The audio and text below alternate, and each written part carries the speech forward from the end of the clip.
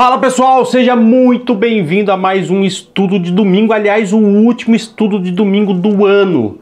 Hoje, dia 8 de 12 de 2019, a gente começa aqui falando de mais uma semana bonita de mercado, mercado que rompeu novamente topo histórico, né? Foi lá pro 111 mil pontos, né? Quem diria, a gente que estava aqui em 2015 com o Ibovespa 40 mil pontos, né? Quem diria que três anos e pouco depois a gente estaria chegando tão longe, né? Pois bem, a gente chegou a lá uh, a 16% de alta uh, desde o fundo deixado, só para falar lá em setembro, né? Comecinho de setembro. E a gente sempre falou para vocês desse, desse. Aliás, antes de eu sair de férias, em julho, né, a gente falava para vocês de simetria e assimetria, né? Que a gente tinha andado já 18, entre 18 e 20%, o mercado de novo chegando exatamente nessa região. Ou seja, eu entendo né, que é um lugar muito mais de pensar como sair bem das operações que a gente entrou lá atrás. Ou seja, é um lugar muito mais para isso do que para pensar em novas operações de compra, tá? Então nessa vibe a gente começa o estudo domingo de hoje, aliás, o último do ano.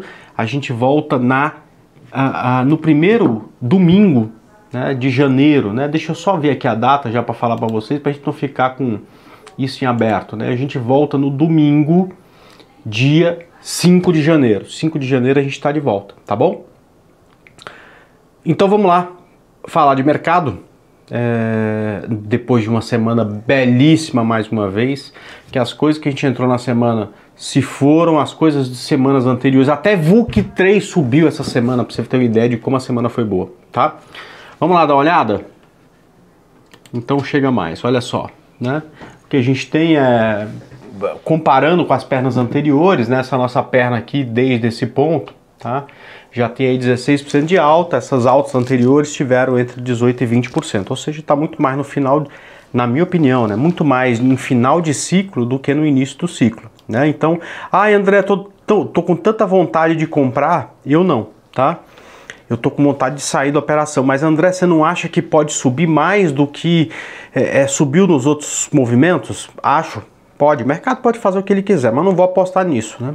Eu vou apostar exatamente é, na repetição do mesmo ciclo que a gente viveu nos últimos dois anos. Se for para mais, ótimo, né? A gente está comprado, né?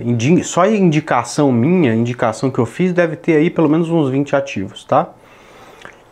Então, a gente vai colher muito fruto de coisas que a gente já iniciou, tá? São poucos os ativos que ainda estão minimamente interessantes e os que estão eu vou falar aqui para vocês aqui hoje, tá? Vocês sabem que tem lá a nossa planilha, que a gente sempre coloca os ativos das nossas indicações nessa planilha. Os que eu vou falar aqui essa semana, tá? Já não vale mais para a planilha, ou seja, já não entra mais nada lá. Acabou para mim o ciclo, tá? Por quê? Vou tirar férias, né, não dá para ficar cuidando de novas operações. Os que estão lá, a maioria, né, já deu entrada, já fez saída parcial, já está performando muito bem, né? Então, assim, só, só, só, por exemplo, GGBR4, né, que rompeu o topo, olha só, né? A gente pegou GGBR4, né, no rompimento de 13,50 aqui embaixo, né? Então, sair de férias e cuidar disso aqui, perfeito, né? É algo que já é, andou, caminhou, já está dando 20, tantos por cento. Agora sair de férias pensando em novas indicações é uma coisa que não faz muito sentido para mim, tá? Então, como eu vou sair de férias na sexta-feira, essas sugestões que eu vou dar aqui para você não vão estar na planilha, vão ser apenas sugestões para quem não vai tirar férias, para quem vai ficar aí até o final de ano olhando para o mercado. São poucos ativos. Vou começar exatamente com o GNDI 3, tá? É um ativo que tem tendência de alta no gráfico diário, passou por uma correção no gráfico de 60 minutos, olha só que bonitinho, né? Tá fazendo o que a gente chama de onda 3 para cima no gráfico de 60 minutos, né? Só que como o gráfico de 60 minutos é um gráfico tão breve, tá? A gente tem a oportunidade de esperar, não querer pegar a onda 3 na sua formação, mas sim de esperar o pivô de alta no gráfico de 60 minutos, ou seja, o rompimento do topo. Se vier, a gente pode pensar em compra com stop aqui no fundo, tá? E aí, vindo aqui para o gráfico diário, tá? É compra no rompimento de 61,36 com saída parcial 64,05, saída final 69,43 e o stop abaixo de 58,66, tá? Outro ativo que por enquanto ainda está até corrigindo, mas pode ficar muito bonito, é exatamente JBSS3, tá? É, no rompimento de 29,20, com saída parcial em 31,50, saída de gerenciamento de risco 3 para 1, 36,10 e stop abaixo de 26,89, tá? É, como o risco é um pouco maior do que 6%, eu recomendaria entrar com um pouco menos de capital, como a gente fala, uma mão menor. Né? Então, se você entra em 10 mil em todos os papéis, aqui você pode entrar com 9 mil, tá? que é exatamente 90% da mão. Outro papel que eu estou de olho é exatamente Magazine Luiza, tá? no rompimento do pivô de alta, que é exatamente o 46,19, com stop a 43,84, saída parcial em 48,55 e saída final em 53 e 26. Perceba você que já fez meu curso, ou que acompanha minha mentoria, né? Que a gente está falando aqui, aqui, tá? E aqui, né? De três operações de correção nas médias móveis, tá? Quando a gente observa não só o gráfico diário, mas também o gráfico semanal e gráfico de 60 minutos, tá certo? Depois, penúltimo ativo, esse aqui é um ativo que é, tá caminhando já, né? A gente não está pegando ele de lado, né? Mas desde que ele fez esse ponto aqui, né? Ele tá de certa forma tá um pouco na lateral, por mais que ele tenha feito um novo topo, né?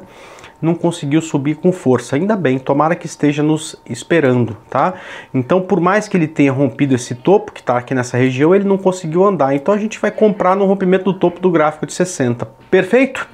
Então essa operação de rompimento de topo acima de 22,13, parcial 23,28, final em 25,57, stop em R$ 20,98.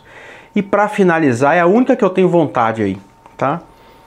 Muita, né, de colocar na minha planilha se der compra, né, vale em 51,76, se o stop abaixo de 49,58 ou em 49,58, tá? Saída parcial 53,94 e saída de gerenciamento de risco 3 para 1, R$ 58,30, tá ok? Perfeito, é, é uma, um, um, cuidado que a gente sempre tem de acelerar, né, quando a, a, só tem sangue nas capas dos jornais, né, ou seja, geralmente é esse o início de movimento quando todo mundo tá falando aí que o mundo vai acabar. Da mesma forma que quando você só vê é, coisa boa, né? não sei se vocês viram as capas dos jornais revistas, portais nos últimos momentos, né? Todo mundo falando de máxima histórica, de paz e tal, né? É o momento de ter mais cuidado. Geralmente a gente está mais perto de final de ciclo. Olha só, André, mas você não pode se enganar? Será que o mercado não pode ir a 120 mil pontos? Eu torço para estar enganado, tá certo? Porque se o mercado for a 120 mil pontos, tem tanta indicação minha em aberto ainda, né? Todo mundo que entrou lá atrás vai sair no alvo das operações, tá certo? Ou seja, a gente vai acabar ganhando de qualquer jeito, mas não vou apostar nisso agora, tá? É, eu entendo que depois de uma forte subida, quando todo mundo consegue perceber que subiu, é, geralmente a gente está muito mais perto do ponto de resistência, portanto de correção, e essas correções têm sido de, 12 a, de 10 a 12% do que do início do movimento. E se a gente comprar agora e o mercado corrigir de 10 a 12%, com raríssimas exceções como essas que estão aí, tá? acaba que a gente vai acabar tomando stop, né? E aí não faz muito sentido, perfeito? Bom, vamos lá. Eu tô saindo de férias do estudo de domingo, porque domingo que vem já tô fora, mas durante a semana ainda estarei por aqui. Aliás, tá? Sábado e domingo que vem, tá? Por que, que eu só saio de férias no domingo? Eu vou estar tá fazendo curso presencial em São Paulo, fechando um ciclo que foi sensacional, né? Um ciclo aí de quase 15 cursos presenciais que eu fiz esse ano e olha que eu não gostava de fazer esse tipo de curso Uh, então, já de antemão, agradecer a todos que participaram de todos os cursos que eu fiz esse ano, agradecer aos que irão participar uh, do curso uh, desse final de semana que vem, tá?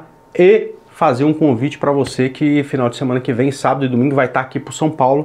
Vem no curso com a gente, para a gente encerrar bem aí essa, esse semestre e também o ano, né, que foi simplesmente sensacional para a bolsa, tá certo?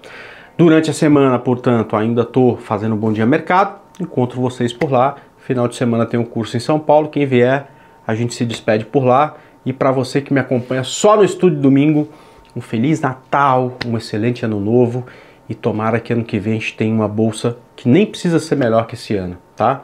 Se for como foi esse ano, a gente já vai ficar muito feliz, tá? Um abraço para vocês e até mais.